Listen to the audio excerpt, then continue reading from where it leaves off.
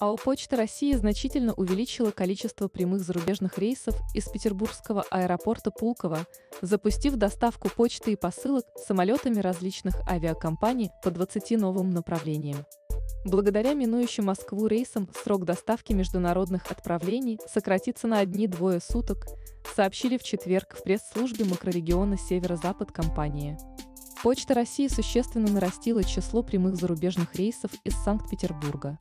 Благодаря сотрудничеству с Turkish Airlines международные посылки теперь будут отправляться из Пулково в Великобританию, Германию, Испанию, Израиль, Норвегию, Финляндию, Турцию, Данию, Хорватию, Грецию, Бельгию, Индию, Сингапур, Тайвань, Болгарию, Сербию, Венгрию, Польшу, Грузию и Азербайджан, сказали в пресс-службе.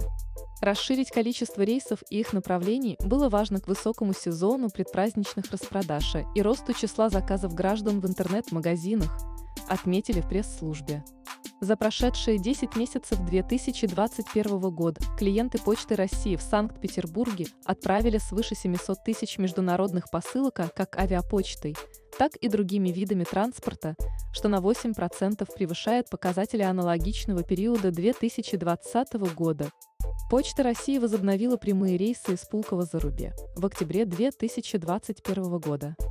Тогда были открыты 9 направлений международного сообщения. В 2023 году Почта России планирует открыть в Петербургском аэропорту Пулково новый почтовый терминал, что также позволит значительно ускорить обработку авиапочты.